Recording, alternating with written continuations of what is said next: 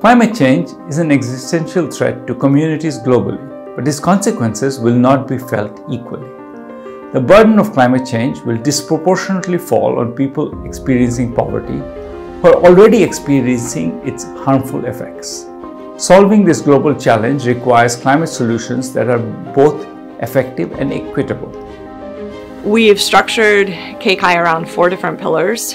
The first is climate mitigation, the second is climate adaptation, the third is co-pollutants, and the fourth is energy access.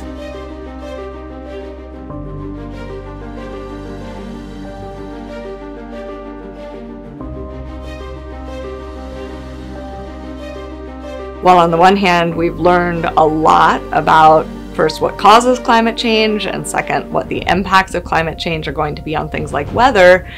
Where we really need research and evidence right now is trying to understand do these policies do these technologies work?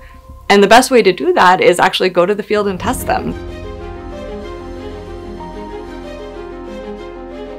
The first is funding evidence generation. We run competitive grant funding rounds where researchers apply for funding to try to test the impacts of different policies and innovations.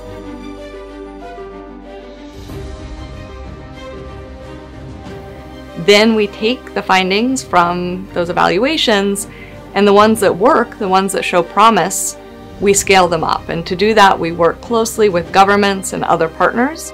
Finally, we work closely with regional offices around the world to bring in local expertise, to bring in local researchers, and to work with a cadre of K-CAI fellows that are based in these regional offices on the ground to ensure that our research is grounded in the local needs and local knowledge.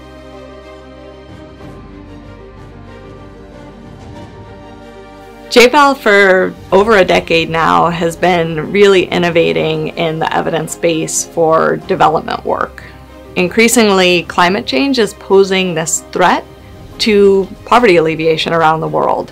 And so if we don't address climate change as part of the effort to fight poverty, it's potentially a losing battle. JPAL is really well positioned given all of this research, given this deep connection with policymakers, with governments around the world, to bring climate into the evidence base.